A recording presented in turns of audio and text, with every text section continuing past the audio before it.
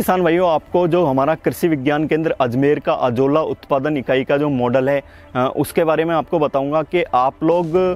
इसमें अजोला उत्पादन के लिए कच्ची क्यारी का निर्माण भी कर सकते हैं और आप पक्की क्यारी का भी निर्माण इसमें कर सकते हैं अजोला उत्पादन के लिए। तो सबसे पहले मैं आपको जैसे कच्ची क्यारी का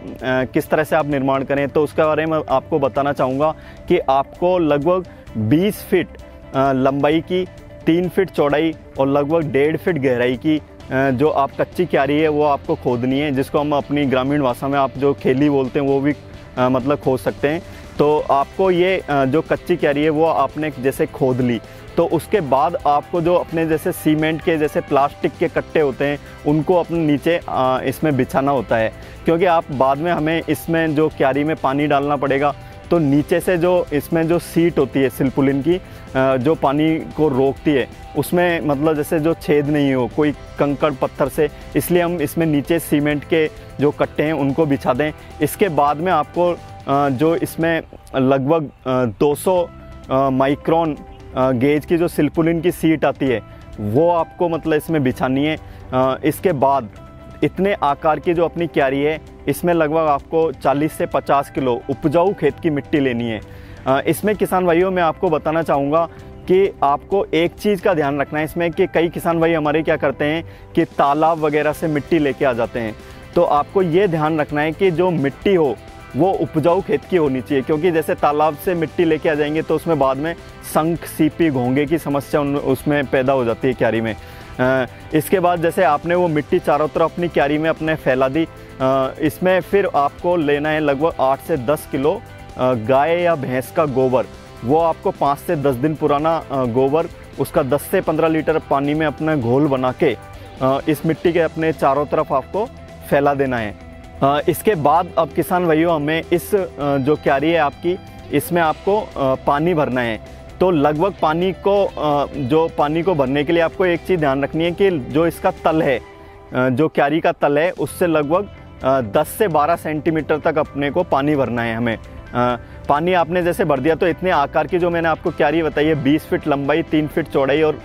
एक से डेढ़ फीट गहराई तो इतने आकार की जो अपनी क्यारी है, इसमें लगभग 400 से 500 लीटर पानी आ जाता है। तो ये पानी आपने जैसे भर दिया तो इसके बाद जैसे अपने को अजोला का पौधा है वो इसमें लगभग दो किलो जैसे डालना है। तो मैं आपको यहाँ एक चीज़ बताना चाहूँगा कि इसमें अजोला का कोई बीज नहीं होता है। जो इसका जो आप लोग जो ये पौधा देख रहे हैं वो हरा जो हरा पौधा होता है, यही अजोला लेके आपको दो किलो। शुरुआत में मतलब पहले दिन जैसे अपन क्यारी तैयार करते हैं तो शुरुआत में ये दो किलो अजोला इसमें क्यारी में आपको डालना है। तो ये जैसे मान लो आपने आज एक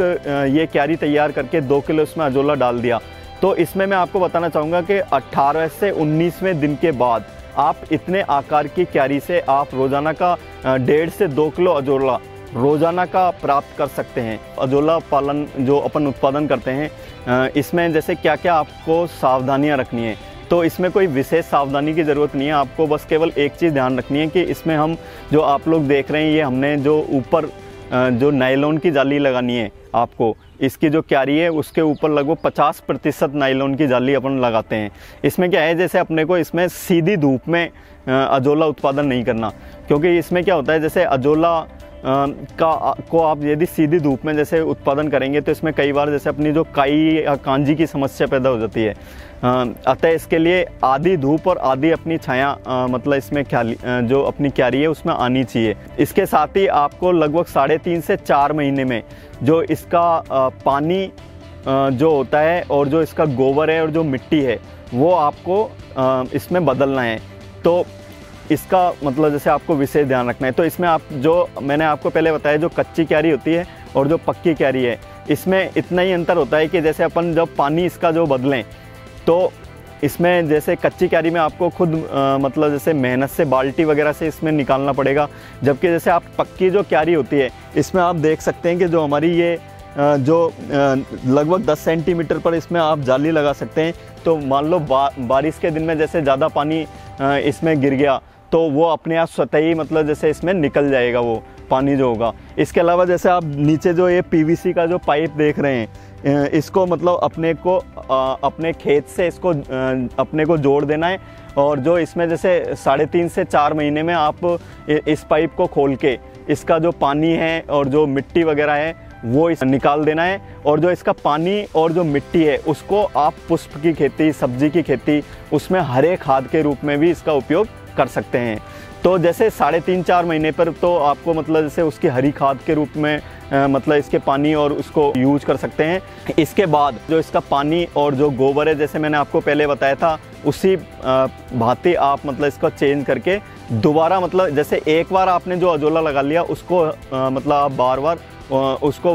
उत्पादन कर सकते हैं। अजोला उत्पादन की इकाई को स्थापित करके अपने जो दुधारू पशु हैं, उनको अजोला, हरे चारे के विकल्प के रूप में उनको किस तरह से वो खिलाएँ इस, जिससे कि उनके स्वास्थ्य में भी बढ़ोतरी हो उनकी जो उत्पादन क्षमता है, उसमें भी वो किस तरह से बढ़ोतरी कर सकें। इसके अलावा जैसे उनकी जो प्रजनन क्षमता है जो प्रजनन से संबंधित उनमें समस्या है, उनका भी वो निवारण कर सकें। तो पशुपालकों को अपने जो पशु हैं, उनकी जो पालने की जो उनकी लागत है, उसको वो कम कर सकते हैं तथा उत्तम गुणवत्ता युक्त पूरक पशु आहार के रूप में अजोला का उत्पादन करें।